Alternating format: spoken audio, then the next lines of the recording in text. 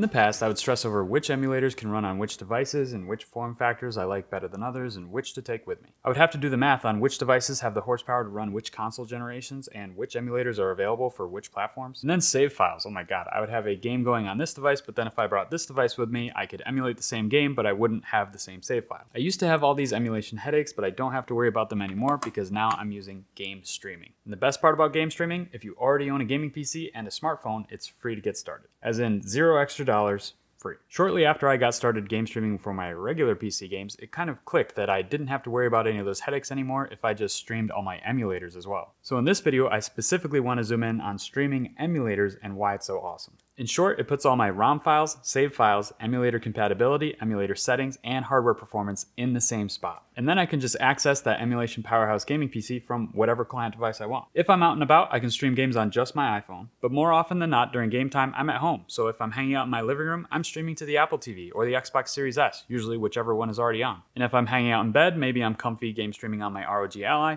or big screen game streaming on my Google TV plugged into my projector, throwing a 100 inch TV on my bedroom wall. So you see how this is just a very different approach than, well, this is the only device I want to use for emulation. I love it. I just take it everywhere and that's it. My gaming PC will always have more power, more emulator compatibility, and more storage compared to these retro handhelds because, well, it's a fully fledged gaming PC. But that also means it's just not portable by definition. But I so wish I could just take it with me. And that's where the game streaming comes in because you're essentially taking your fully fledged gaming PC on the go. If you're watching this and you're thinking like me, you're thinking, mm, this is too good to be true. There's got to be some kind of catch. Well, yeah, there is a catch, but we'll get to that later. But on the other hand, if this could come together and work well, then this is a much more free flowing type of gaming experience that a busy guy like me can really appreciate.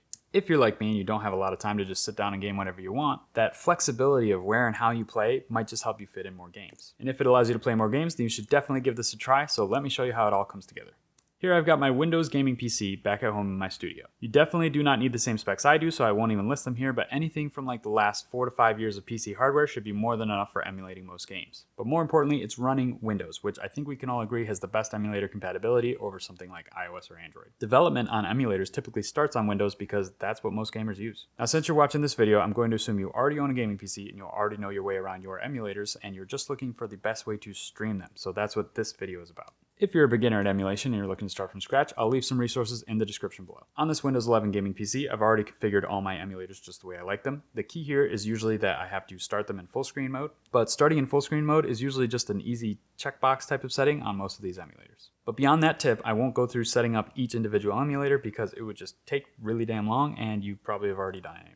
But of course, if you have any questions, ask them in the comments below. I've got pretty much every console from original Nintendo up to PS3 and Xbox 360, as well as Switch, of course, running on this system. Now, as far as streaming goes, I've tried multiple different combinations of softwares, but what's worked best for me and what I recommend to everyone watching is a combination of Sunshine and Moonlight together with Big Box. Now, I know I said game streaming was free, and Sunshine and Moonlight are, but Big Box is actually a paid software. Now, it's kind of optional for this process, but I really, really recommend it if you're gonna go down this route. I've already made a whole video tutorial on how to set this up, so of course I'll leave a video card and also the link in the description. And you don't have to watch that video right this second, but at the end of this video, if you wanna just go over and watch that to get step-by-step -step directions, feel free. So at this point, we're ready to stream with Moonlight and Sunshine. I'm going to grab my iPhone as an example client device. So as we boot up Moonlight and connect to our gaming PC, we can see that there are just a couple options here. Now if you wanted to save money and ditch Big Box, you technically could just click around the desktop until you find your emulators. But instead of tapping around your device like a madman, you could opt for Big Box here and have a gamepad controllable UI. For this interface, as I mentioned before, I recommend Big Box, which comes with Launchbox Premium. Now, this is a paid software, but this video is not sponsored by Launchbox or anyone else for that matter. And if you're gonna go down this route, I highly, highly recommend Big Box. Out of everything I've tried, Big Box is hands down the best for this, and the price is well worth supporting the devs for all that they do. The license is only $30 for one year of updates or $75 for a lifetime license.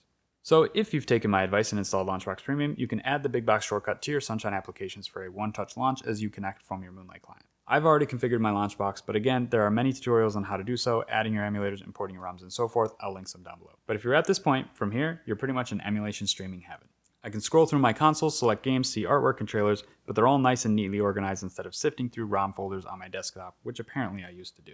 And this experience stays consistent over any client device that you connect from. I can play PS3 on my iPhone with an Xbox controller attached, or switch over and play the same game on my iPad, just whatever you have available. I can load up the same game on my Google TV with Chromecast 4K, which I have no idea if anyone's hacked to emulate games, but it's such a low power device, I doubt this can even play PS1. Any device that has the Moonlight streaming client can now become your game console with all your games and emulators in one place, which is just really cool if you ask me. It saves time if you're trying to squeeze in games wherever you are, saves money if you're thinking about buying a second PC for emulation in the living room, and it saves the headache of juggling ROMs and save files between devices. Well, it has to be too good to be true. Well, now it's time for the catch. You do need a stable network connection. Well, you probably saw that coming, but it's just the nature of the beast of game streaming. It comes with the territory. So if you're going on a camping trip or something and you don't have Wi-Fi or even any cell service, yeah, this method falls short for that and you're just not going to be able to play any games. But even when you do have Wi-Fi, but it's just not a network that you have any control over, it can be tough if you have a bad connection. But the biggest slander I hear about game streaming is that it just doesn't work on your home network. Certainly, if you're in the same house as the gaming PC host, your client device should not have enough lag that it's even noticeable.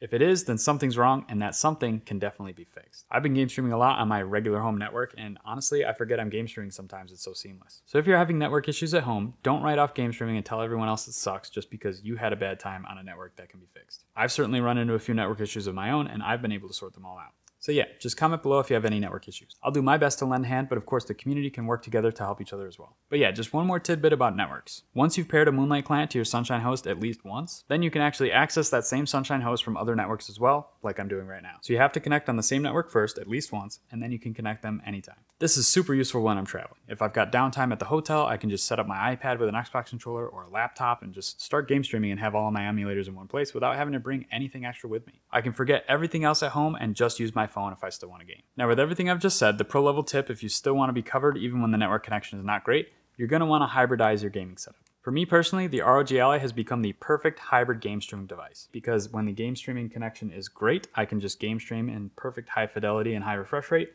But then when the connection is not good, I can just play the games locally at a bit lower quality and frame rate. I've already made a whole video about why the ROG Ally is an incredible hybrid game streaming machine, and you can check that out here. And of course, I'll link that video in the description down below as well. I've even set up my emulators, save files, and save states to sync across my OneDrive. Automatically configured with Windows when you sign in with your Microsoft account, so it's super easy to just sign into the same Microsoft account on your Windows gaming PC and your Windows handheld, and then just point any emulator's save file path to your OneDrive. Let me know if you want a separate video on just syncing those ROM and save files in the comments below.